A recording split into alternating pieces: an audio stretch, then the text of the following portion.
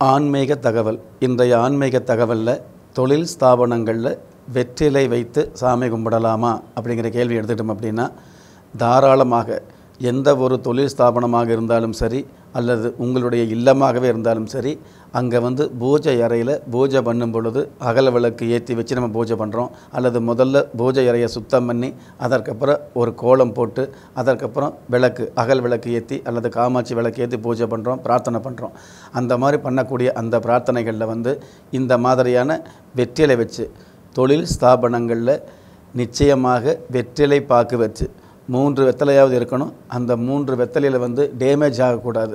அதாவது ஓட்ட வெத்தலையோ அழுகி போன வெத்தலையோ காம்பு இல்லாத வெத்தலையோ வைக்கக்கூடாதுங்க. ஒச்சம் இல்லாத வெற்றிலை மூன்று வெத்தலை வச்சு ஒரு பாக்கு வைக்கலாம் அல்லது மூன்று கொட்டைப்பாக்கு வைக்கலாம். முடிஞ்ச அளவுக்கு கொட்டைப்பாக்கு வச்சு பூஜை பண்ணுறது நல்லது. அந்த மாதிரி கொட்டைப்பாக்கு பயன்படுத்தி வெற்றிலையை பூஜை அறையில் வைத்து வழிபாடு செய்வது சிறப்பானதாக சாஸ்திரம் சொல்லியிருக்கு.